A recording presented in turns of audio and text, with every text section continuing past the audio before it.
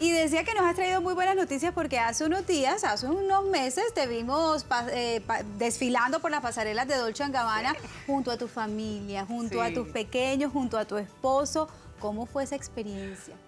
De verdad maravillosa. Creo que una de las experiencias más lindas que yo he vivido en mi carrera, en mi vida, porque la primera vez que trabajamos juntos y en un evento tan especial y tan bonito que representó mucho, mucho, mucho para mi familia, para mi esposo que tenía 24 años trabajando con esa marca.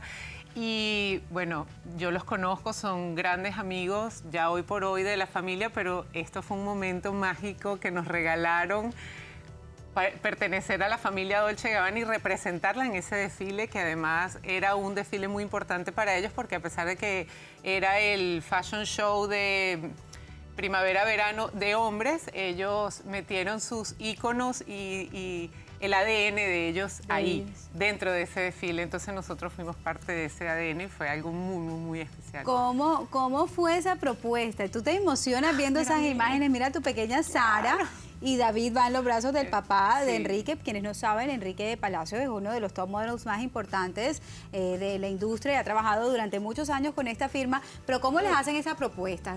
Y le dicen, quiero que esté toda tu familia, tu hija, tu esposa.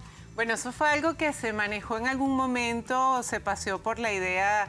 Eh, por la cabeza de, de estos dos grandes diseñadores y no se había concretado muy bien y como unas dos, tres días antes de que ya Enrique iba para el desfile porque no estaban seguros si iban a incorporar familias, porque el tema de los niños siempre es algo más complicado a nivel legal.